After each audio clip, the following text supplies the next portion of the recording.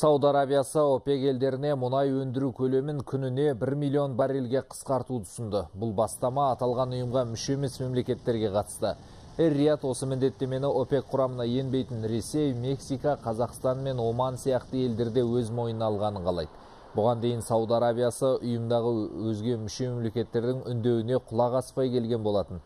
Егер осы бағыттағы жоспарлар сәтті аяқталса, онда аталған келісім шарт келесі жылы күшінен өтеді. Айта кетейік, қазір мұнай өндіруге арналған жеңілдік көлемі күніне 30 миллион баррельді құрайды.